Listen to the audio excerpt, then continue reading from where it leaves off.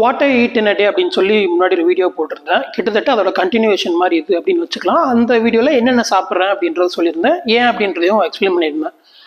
அதே மாதிரியான ஒரு பேட்டர்னை நீங்கள் எப்படி உங்களுக்கு ஏற்ற மாதிரி மாடிஃபை பண்ணிக்கலாம் அப்படின்றது இதில் கொஞ்சம் டீட்டெயிலாக எக்ஸ்பிளைன் பண்ணலான்னு இருக்கேன்.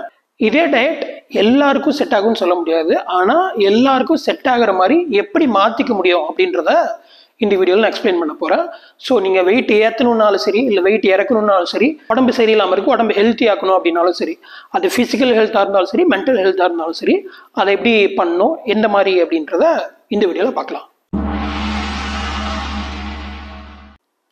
ஓகே இப்போ டைரெக்டாக வீடியோக்குள்ளே போகலாம் ஸோ இதெல்லாம் தான் நான் சாப்பிடக்கூடிய உணவு. ஸோ இதெல்லாத்தையும் ஆல்ரெடி நான் பழைய வீடியோலேயே போட்டிருக்கேன். நீங்கள் பார்த்துருப்பீங்க.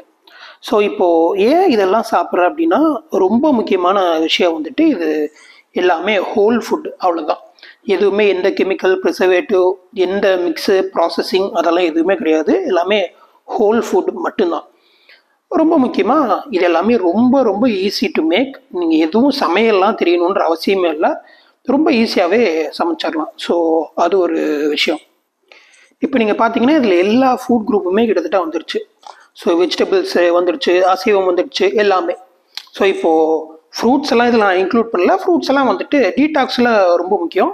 நம்ம சாப்பிடும்போது உணவு கூட ஃப்ரூட் சாப்பிட்டா அது அவ்வளோ முக்கியமான விஷயம் கிடையாது. நான் டீடாக்ஸ் ஃபேஸ்லாம் நான் முடிச்சிட்டேன். இது ஒரு மெயின்டெனன்ஸ் அந்த இதில் இருக்கேன். ஃப்ரூட்ஸ் எல்லாம் சாப்பிட்றது வெறும் வயிறோடு இருக்கும்போது காலையில் அந்த மாதிரி டைமில் சாப்பிட்லாம். அது செம்ம டீடாக்ஸிங்கான எஃபெக்ட் கொடுக்கும். சரி இப்போ எல்லாத்தையும் வச்சு எப்படி உங்களுக்கு ஏற்ற மாதிரி செய்யலாம் அப்படின்னா ஸோ இங்கே வந்துட்டு ஃபேட் இருக்குது ஸோ இது வந்து வெண்ணெய் தான். ஸோ இது வந்து இயற்கையான பொருள் தான். ஸோ இப்போ முட்டை வந்து பார்த்தா வெறும் பச்சை முட்டை தான் இருக்குது இது வந்து நாட்டுக்கோழி. ஸோ அதனால் நான் அப்படியே குடிக்க போகிறேன் ஆனால் இது ஏன் இது ஏன் நான் இப்படி குடிக்கிறேன்னா இதில் பச்சையாக இருக்கும்போது கொஞ்சம் பயோ அவைலபிள் நியூட்ரியன்ஸ் ரொம்ப அதிகமாக இருக்கும். இல்லை அதெல்லாம் முடியாதுன்னா ஒன்றும் பிரச்சனையே இல்லை. நீங்கள் ரெகுலராக சாப்பிடும்போதெல்லாம் சமைச்சு தான் சாப்பிட முடியும் நார்மல் எக்ஸ் எல்லாம். ஸோ அந்த மாதிரி இருக்கும்போது என்னென்னா முட்டையை உங்களுக்கு வே வேணுன்ற மாதிரி சமைச்சிக்கலாம்.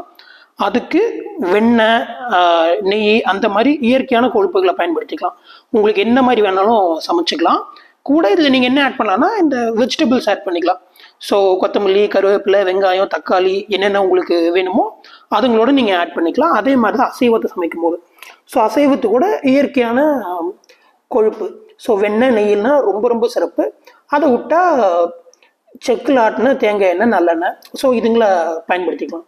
ஸோ வெண்ணெய் நெய் தேங்காய் எண்ணெய் இதெல்லாம் நீங்கள் பயன்படுத்துறீங்கன்னா எவ்வளோ வேணால் பயன்படுத்திக்கலாம். ஒன்றும் ப்ராப்ளம் இல்லை. ஆனால் நீங்கள் வெண்ணெய் நெய்யெல்லாம் ஆட் பண்ணிங்க டேஸ்ட்டும் வேறு லெவல் அதிகமாகும்.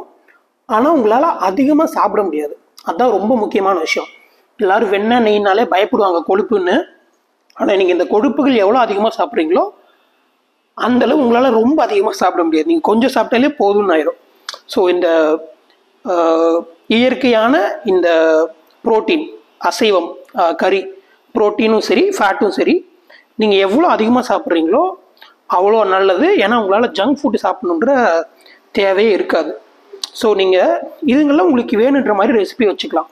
ஸோ இப்போது முட்டை இருக்குது வெண்ணெய் நெய் அந்த மாதிரி எது வேணாலும் நீங்கள் இதுக்காக எடுத்துக்கலாம். காய்கறி உங்களுக்கு என்னென்ன காய்கறி வேணுமோ ஸோ அசைவம். இந்த அசைவம் என்ன அசைவமாக வேணால் இருக்கலாம்.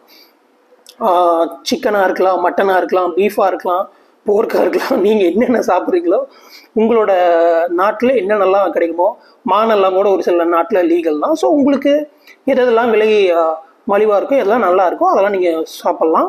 என்ன ஒரே ஒரு விஷயம் அதெல்லாம் முடிஞ்ச அளவுக்கு இயற்கை முறையில் விளைவிக்கப்பட்டதாக பாருங்கள் ஊசி போடாதது கொஞ்சம் நேச்சுரலாக விளைவிக்கப்படுறது. அந்த மாதிரி பாருங்கள் முடிஞ்ச அளவு விவசாயிகள் அந்த மாதிரி நேரடியான ஆட்கள்கிட்ட வாங்குங்க. அது செம்மையாக இருக்கும். ஸோ அடுத்து இது ஆர்கன் மீட் ஸோ இது வந்து லிவர் இது வந்து நீங்கள் எது வேணால் யூஸ் பண்ணிக்கலாம். லிவரு கிட்னி ஹார்ட்டு இன்டெஸ்டைன் எது வேணாலும். ஸோ இதுங்கெல்லாம் நீங்கள் ரெகுலராக கறி சாப்பிட முடியாதவங்க இந்த மைக்ரோ நியூட்ரியன்ஸ்க்காக இதுங்களை சாப்பிட்டுக்கலாம். இந்த ஆர்கன் மீட்ஸில் எக்கச்சக்கமான நியூட்ரிஷன் இருக்குது அது நீங்கள் எந்த மாத்திரை மருந்து போட்டாலும் கிடைக்காது. முக்கியமானது இது எல்லாமே பயோ அவைலபிளான ஃபார்மில் இருக்கும். இதெல்லாம் கெமிக்கல்ஸ் கிடையாது. ஸோ நேச்சுரலாக நம்ம உடம்புக்கு என்னென்ன தேவையோ அதெல்லாம் எக்கச்சக்கமாக இருக்கும்.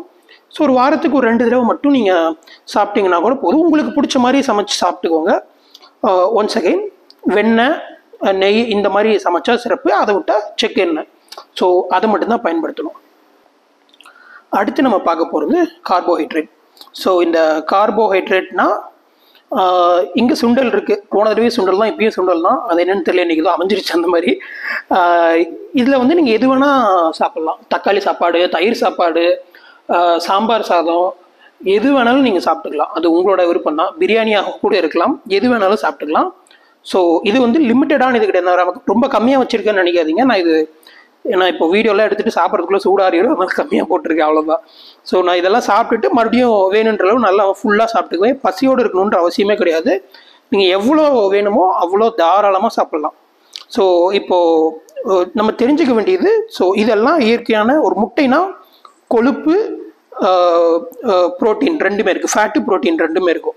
இது வந்து ஃபேட்டு இது வந்து புரோட்டீன் கறி அது என்ன கறியாக வேணா இருக்கலாம். இதெல்லாம் புரோட்டீன் ஸோ இந்த விஷயங்களை நீங்கள் நிறையா சாப்பிட்ணும். புரோட்டீன் ஃபேட் இதுங்களை நிறையா சாப்பிட்டுட்டு இந்த கார்போஹைட்ரேட் தானியம் பயிர் வகைகள் அரிசி பருப்பு இதெல்லாத்தையும் நீங்கள் ரொம்ப கம்மியாக தான் சாப்பிடணும். அதுதான் முக்கியமான விஷயம். இப்போ நம்ம டீடாக்ஸ் பண்ணுறோம் அந்த மாதிரி டைம்னா இது எல்லாத்தையும் முற்றிலுமே தவிர்த்துருவோம். முக்கியமாக இந்த தானிய வகைகள் அரிசி பருப்பு கோதுமை அந்த மாதிரி விஷயங்களை முற்றிலுமே தவிர்த்துருவோம். ஆனால் இப்போ நான் சொல்கிறது வந்து ஒரு பேலன்ஸ்டு ரெகுலரான ஒரு லைஃப் ஸ்டைலுக்கு இது சூப்பராக இருக்கும். ஸோ ஒன்ஸ் அகெயின் இதுங்கெல்லாம் ஒரு ஃபுட் குரூப் அவ்வளோதான் ஸோ இதில் உங்களுக்கு எந்தெந்த மாதிரியான காய்கறி பிடிக்குமோ அதை மாற்றிக்கோங்க. என்னென்ன கறி உங்களுக்கு பிடிக்குமோ அதுக்கேற்ற மாதிரி மாற்றிக்கோங்க. உங்களோட கருத்துக்கள் கேள்விகள் ஏதாவது இருந்தால் கமெண்ட் பண்ணுங்கள் இந்த வீடியோக்காக உங்கள் டைமை ஸ்பெண்ட் பண்ணதுக்கு மிக்க நன்றி.